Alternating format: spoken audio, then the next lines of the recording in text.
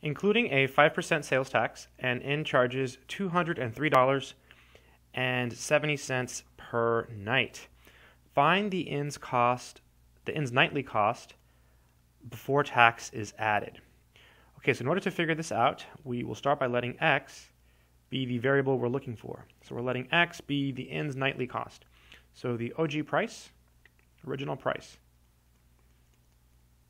Okay, so we know that the inn charges $203.70. We also know that it, this includes a 5% sales tax.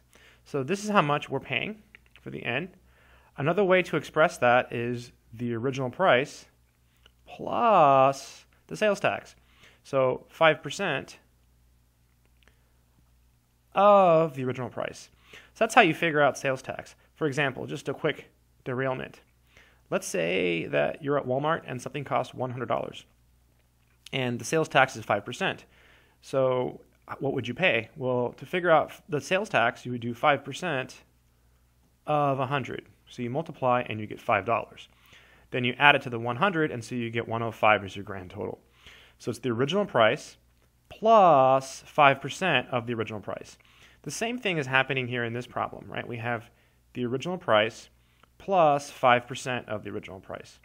To finish, notice there's a 1 here. So you can just add these. So 1 plus 0.05 is 1.05. And then this carries down here, 203.70. If, you, if you're confused about this part, just think simple. 2x plus 3x. How do you do that? You just add 2 and 3, and that gives you 5. Right? So same thing here.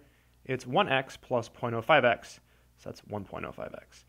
To finish, you just divide by 1.05. 1.05.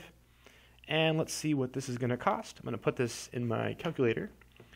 So this is 203.7 divided by 1.05. Exactly $194. So that is the inn's nightly cost before tax is added. I hope that made sense.